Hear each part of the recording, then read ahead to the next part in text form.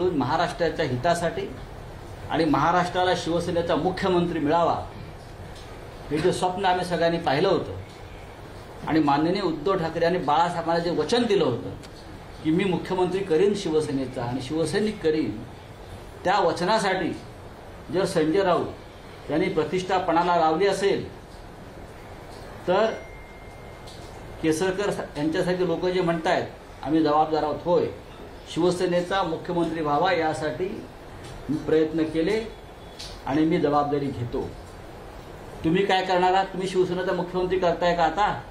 तुमचा नेता मुख्यमंत्री होणार आहे का? दोन्ही भांडीच करावे लागणार आहेत आपल्याला.